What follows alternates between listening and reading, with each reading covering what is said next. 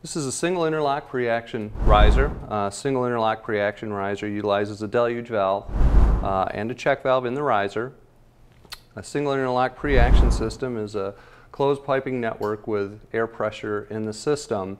The air pressure utilized in the system uh, is, not holding anything mechanically shut. It's there for supervision purposes, so you will know if the system piping is tight, uh, meaning that there's no, no broken pipe or broken sprinkler.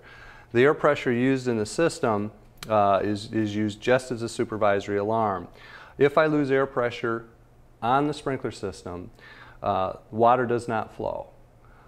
The only method of making water flow through a single interlock pre-action system that has an electric release is through the release system. Uh, uh, here we have a panel with a smoke detector. If the smoke detector were to operate, the solenoid on the riser would open, draining the priming pressure uh, from the deluge valve, allowing the deluge valve to open, and then we would flood the system piping with water. Once the sprinkler activated, water would flow immediately from the sprinkler head. The system uh, can only be reset by closing the control valve, uh, draining the system, resetting the release system, and then opening the control valve.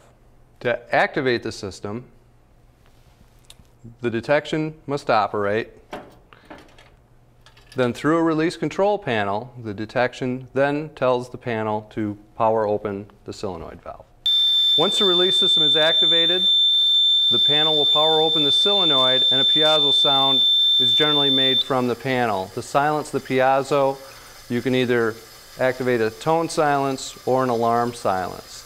The system is operated uh, to simulate a sprinkler head opening up, we have a control valve in the back. We'll open that up and water flow will occur.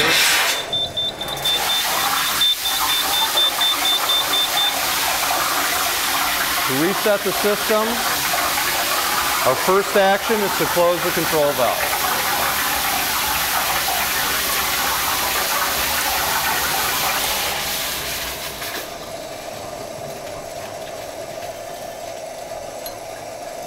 Okay, once the control valve is closed, water will stop flowing through the system.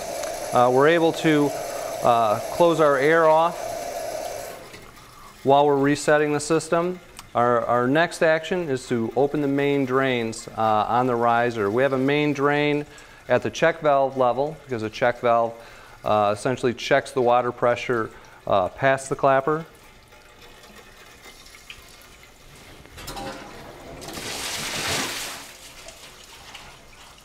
Once the riser is drained, you can reestablish air pressure into the sprinkler piping network.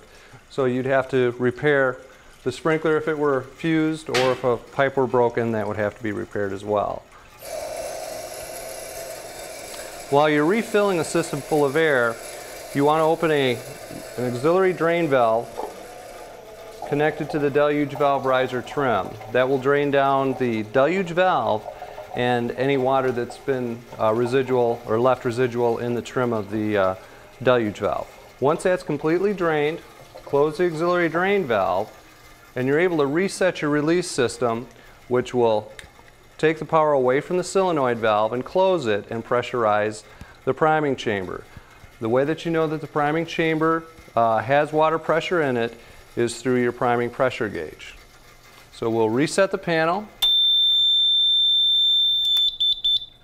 and you'll see gradually prime pressure builds on the riser. At this point, we're able to open up our control valve. We want to open up our flow test valve, which is on the inlet chamber of the deluge valve when we establish a water flow. We'll crack open our, our water supply.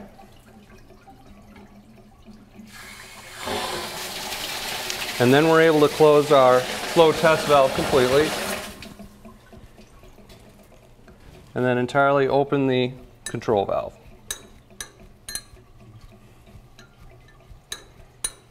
Once the control valve is completely open, we can go back to our release control panel, reset the panel, and that will take care of any supervisory alarms that we may have.